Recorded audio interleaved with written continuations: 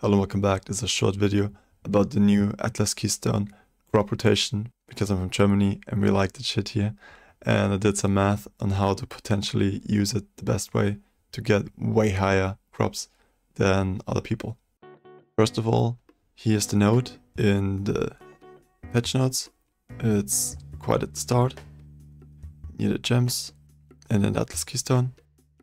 I put it into Notepad for better view crop bunch of exclamation marks. Harvest crops in your maps contain only tier 1 plants and harvesting crops in your maps has a chance to upgrade the tier of plants of different colors. Which means you have different color fields, usually three. You have the blue, the purple and the yellow. And I made an example with like five blue fields, six yellow fields and seven purple fields. I used the abbreviation 5b, 6y and 7p.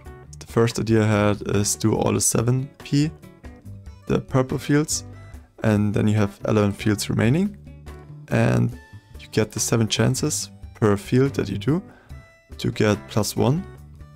And ideally you want to get 2 plus 4. So you need the proc of this field 3 times on the same plant. Then you have a T4. And for example, if you do the 5 blue fields first, then you get 13 fields and you get the 5% chance to go plus 1. But then there's the question, it might make it more difficult to hit the same seed multiple times with a plus 1. If you have like more seeds, it could be that you have only a deterministic chance or for the sum of all of your seeds to go to plus 1 and if you have more seeds it might be a drawback to hit the same seed twice or three times if you want to four seeds, but I strongly assume that the chance for an upgrade to plus one is calculated per seed and not per field or the sum of all the remaining fields. And I think it's very likely that it could be a 10% chance. So I calculated with a 1.1 with the power of 7, which equals 1.95 and then the other fields get a tier 2 on average, or almost a tier 2. And for the other calculations, 1.1 with the power of 5 is 1.61. And with the power of 6, it's 1.77.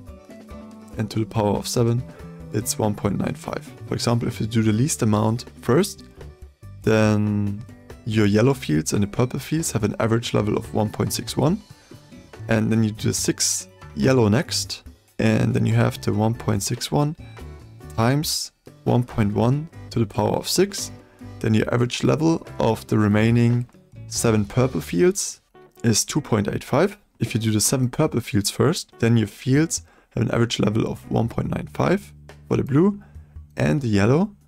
And if you do the 6 yellows next, then you have the 1.95 times the 1.1 to the power of 6 and then the average fields for the remaining 5 fields is 3.45 and then you just take the numbers of what is actually in the harvest and these numbers are very inflated I think. I barely do the harvests in general and I don't pay much attention to them but if you ask like Spicy Sushi, he lives in the harvest, he's a professional gardener, he should have probably the same opinion as me, I would assume.